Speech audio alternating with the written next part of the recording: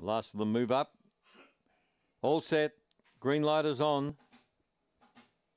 Favourite Daniel's Loza, box one. Ready. They're racing. I'd got away smartly, but it's good speed out wide from Regis Miss. Regis Miss has burnt them off. Going with it early, Terra Nora. And also joining in is Wells Tyson. Makes a line of three. A gap on the field then coming out of the ruck, Natural Fury. And also back behind them, Darley's Dream Spring Carter. They come to the home turn. Still a line of three where Terra Nora's just in front. Terra Nora by a neck. Second home was Regis Miss. Third in the event after showing uh, good speed there uh, would have been Wells Tyson.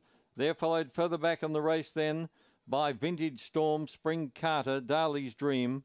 Daniel's Loza got lost in the ruck. 23.50 and your numbers are 4573. 4573 official. A half by one and a half. 23.50. The winner, number four, Terra Nora. Wasn't the first out, but worked into the race quickly by Barcia Bale from Velocity Mist. Raced by Velocity Lodge, manager Steve Williams. Kevin Bewley, the trainer. October 15, the whelping date for Terra Nora. Five got second. Regis Miss showed bundles of speed. Third, seven, Wells Tyson. And Vintage Storm was running on late to get fourth.